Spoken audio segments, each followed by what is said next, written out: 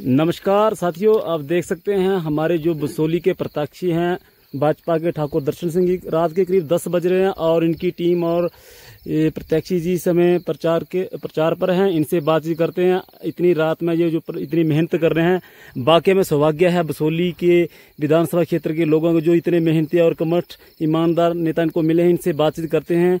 और इस समय देखिए, आप देख सकते हैं, चारों ओर अंधेरा है, इस तरफ़ का आपको दिखाऊँगा व्यू मैं।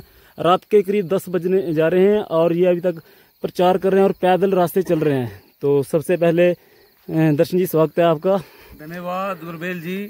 आज सुबह से हम प्रचार प्रसार के लिए निकले हुए हैं।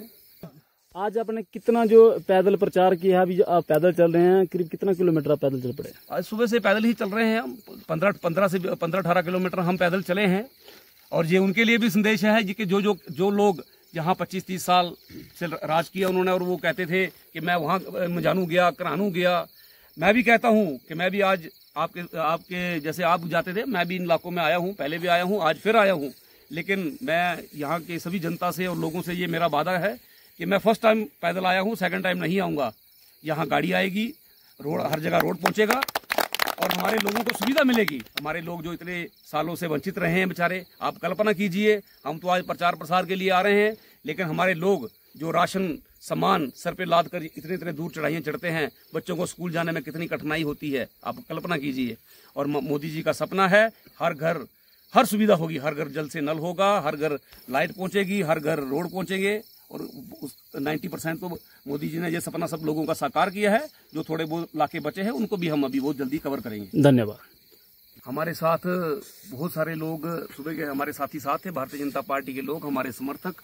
तो पहले हमने पिकड़ पंचायत कवर करी फिर सैलो गए थे उसके बाद में स्यालक पलाच उसके बाद में हम नगाली नगाली के कुछ जो भी घर पड़ते थे उनको कवर किया। फिर हम कलां गए थे।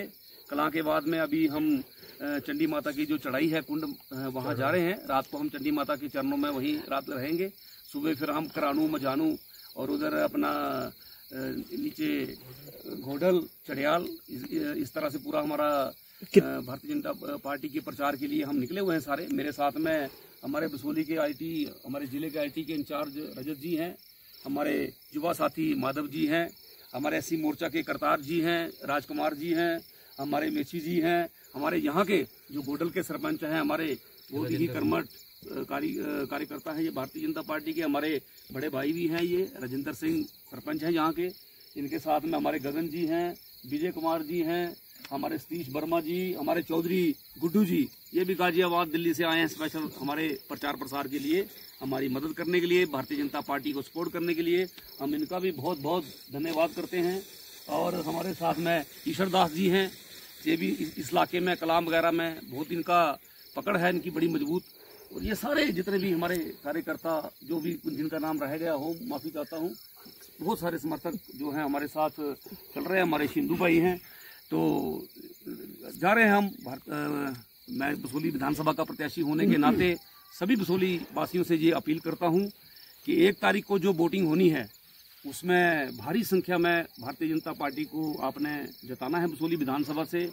मैं आपका बेटा, आपका छोटा भाई, आपका दोस्त होने के नाते सभी से निवेदन करता हूँ कि जो देश के प्रधानमंत्री मोदी जी ने, हमारे राष्ट्रीय अध्यक्ष जे पी नड्डा जी ने, हमारे प्रदेश अध्यक्ष रविंदर राणा जी ने, डॉक्टर जितेंद्र सिंह जी ने, शोकोल साहब ने, जो एक छोटे से कार्यकर्ता, एक छोटे के, छोटे से गाँव के कार्यकर्ता पर इतना बड़ा विश्वास जताया है, भारतीय जनता पार्टी का बसोली विधानसभा का जो मैंडेट दिया है, उसके लिए हम सभी लोगों ने मिलजुल कर इस विश्वास को कायम रखना है और केंद्र में भी हमारी सरकार है और जम्मू कश्मीर में भी हमारी सरकार बनने जा रही है। तो सभी से मेरा निवेदन है कि डबल इंजन की सरकार जम्मू कश्मीर में बनाए, पूरे हमारे जम्मू कश्मीर के वासी कोई भी भेदभाव जात पात में ना बटे, भारतीय जनता पार्टी का साथ दे कि जिससे जो जम्मू कश्मीर की विकास की गति है और डबल हो, यहाँ टूरिज़्म की टूरिज़्म बढ़े, यहाँ में खुशहाली हो, हमारे लोग समृद्ध हों, हमारे युवा साथियों को हर चीज़ की सुविधा मिले, जहाँ रोड की कनेक्टिविटी हो, हर चीज़ की सुविधा मिले, और उसके लिए हमारे देश के प्रधानमंत्री नरेंद्र भाई मोदी जी वचनबद्ध हैं, भारतीय जनता पार्टी वचनबद्ध है क्योंकि भारतीय जनता पार्टी का एक ही नारा है, अंत उदय की सोच को लेकर ये चल रही है। तो मेरा सभी से निवेदन है कि आपस में किसी भी भेदभाव को छोड़ के एनसी, पीडीपी, कांग्रेस, ये सरकारें किसी का भला नहीं कर सकती हैं। ये सिर्फ़ अपनी राजनीति के लिए, अपने परिवार को बढ़ावा देने के लिए ही काम कर रही हैं। तो मेरा सभी से निवेदन है कि भारतीय जनता पार्टी का पूरा साथ दें और आने वाले टाइम में जम्मू कश्मीर में जो विकास की गति है, और तेज हो, जम्मू कश्मीर हिंदुस्तान का मुकुटमणि है, और ये मुकुट की तरह चमकना चाहिए, ऐसा हमारे देश के प्रधानमंत्री मोदी जी का सपना है।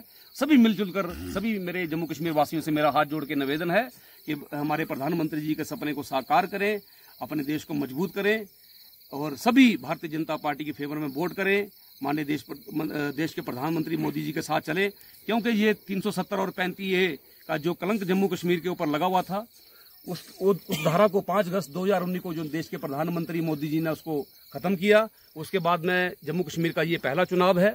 इस चुनाव के ऊपर हिंदुस्तान की ही नहीं, पूरी दुनिया की नज़र है और सभी हिंदुस्तान के साथ साथ पूरे देश, दुनिया को पता लगना चाहिए कि जम्मू कश्मीर के लोग भारतीय जनता पार्टी के साथ हैं, माननीय देश के देश के प्रधानमंत्री मोदी जी के साथ हैं।